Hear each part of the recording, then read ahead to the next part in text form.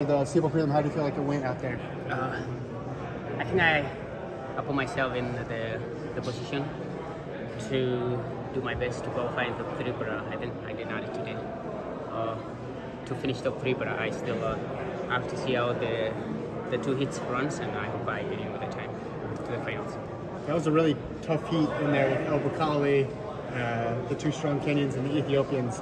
Did you like your chances going into that heat?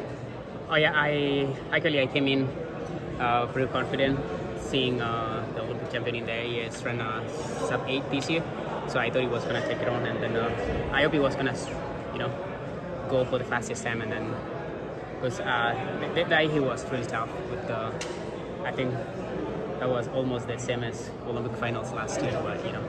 But uh, I think I gave myself the best chance to advance, but I'm still gonna sit and wait to see what's gonna happen.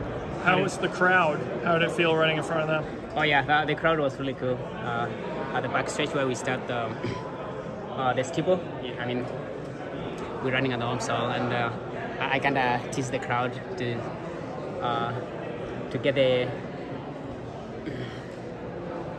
the the momentum going, like uh, how the the high jump and the long jump was still like, and then they was responding, and then think the, the crowd is really good. Yeah. Mm-hmm. I, I, I, love the crowd. So I hope I hope I advance, and then we're gonna see more fun for at the TrackTown. I was gonna show. Yeah. How did it feel to put the jersey on your USA jersey?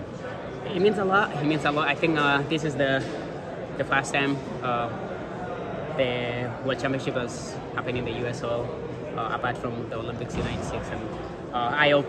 I still hope I'm going to be in the finals, and then I hope Hillary getting the finals and Evan, and then on Monday, uh, I hope we're all going to be in the finals, and you know with the support of um, the home track down and USA and everybody.